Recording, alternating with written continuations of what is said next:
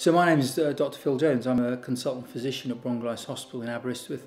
I'm also the hospital director for, for Bronglice Hospital and I've worked here now for 24 years uh, and I've built a very successful career uh, within the community here and also had roles across the Health Board and across Wales uh, in general. Bronglice Hospital is, is the smallest district general hospital in the United Kingdom. Um, so our, our challenges are always around um, scale uh, and being at the small end of the scale rather than uh, being at the large end of the scale. Um, it forces us to think innovatively about how we provide services.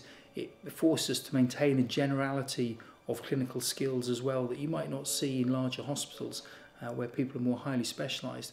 And for many of us, that, that becomes a very attractive and very rewarding job to retain that degree of generalism most of my colleagues have worked here for, for, for many decades. We've built up successful careers here Uh, and with the close proximity of the, the university in Aberystwyth, which is one of four university towns in Wales, there are great opportunities to participate in research and to extend one's clinical practice into all sorts of uh, non-clinical areas. Research I've mentioned, uh, education for example, uh, and clinical management. I hold a national role in Wales as the stroke clinical lead in Wales. So there are great opportunities, I think, for, for the right motivated clinicians.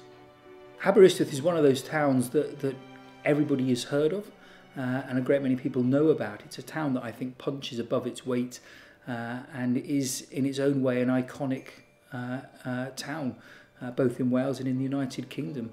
Uh, there's an awful lot going on in Aberystwyth, mainly uh, through the university and the art centre uh, and the cultural aspects of, uh, of that, uh, wine and dining, and of course the locality. Aberystwyth is on the Welsh coastal path uh, overlooking Cardigan Bay, uh, and you couldn't be in a nicer place. And from my uh, area of work, I can look out uh, at sunset and see the starlings flying across the pier, and where else would you be?